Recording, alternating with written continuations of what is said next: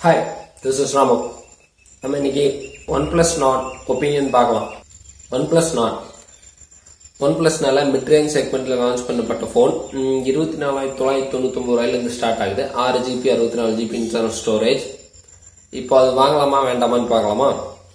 First specs பார்த்துடலாம். பின்னாடி நாலு கேம் மூணு கேமரான்னு நினைக்கிறேன். ரெண்டு வைட வைட் ஆங்கிள் ஒன்று மேக்ரோ சென்சார் ஒரு மெயின் பிரைமரி கேமரா ஒரு ஃபார்ட்டி எயிட் மெகா பிக்சல் ஃப்ரண்ட்டில் ரெண்டு கேமரா பஞ்சோலோட வருது ninety eights refresh rate OLED display சூப்பராக இருக்கும். வேற பேட்டரி நாலாயிரத்தி நூறு மில்லியம்ஸ் பேட்டரி இதெல்லாம் இருக்கட்டும் எப்படி மற்ற டெக் சேனல்ஸில் பார்த்துருப்பீங்க. இப்போ நம்ம ஒப்பீனியன்ஸ் பார்க்கலாம்.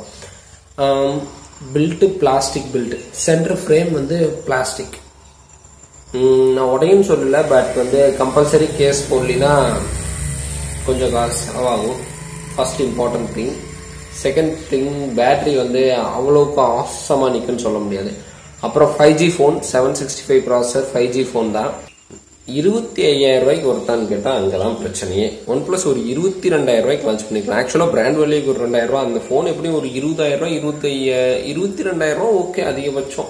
அப்படி லான்ச் பண்ணியிருந்தா செம்மையான ஃபோனு பட் இருபத்தையாயிரம் ரூபாய்ங்கிறது கொஞ்சம் ரேட் ஜாஸ்தி தான் ஒன் பிளஸோட ப்ரைஸ் இப்போ எப்படி ஏறிட்டு போகுதுன்னு தெரியும். கொஞ்சம் கொஞ்சமாக கொஞ்சம் கொஞ்சமாக கொஞ்சம் கொஞ்சமாக அப்படியே ஏறிட்டே போயிடுச்சு இன்னைக்கு அறுபதாயிரம் கிட்டத்தட்ட இருக்குது OnePlus eight eight Pro eight T வரப்போகுது.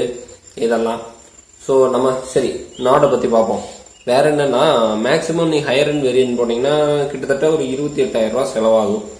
அதுக்கு இப்போ மற்ற பிராண்ட்லாம் போனீங்கன்னா நல்ல ப்ராசர் அல்லினா அட்லீஸ்ட் ஒரு எயிட் ஃபிஃப்டி ஃபைவ் வாங்கினா கூட கன்ஃபார்ம் செவன் சிக்ஸ்டி ஃபைவ் கிட்ட கூட வரேன் ஃபைவ் ஜி ஃபோனுங்கிற ஒரு ப்ளஸ் பாயிண்ட் இருக்குது.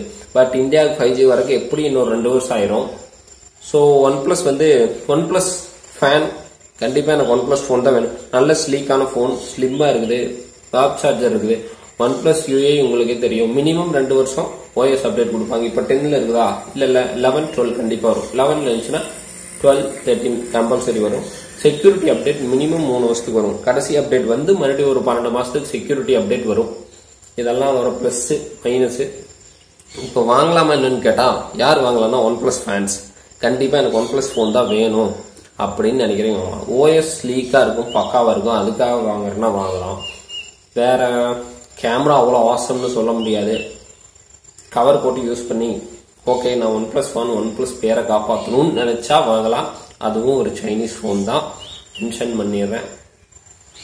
சைனீஸ் ஃபோன் இல்லாத ஃபோன்ஸ் எதுவும் இல்லை சாம்சங்கை தவிர. வேற ஆப்பிள்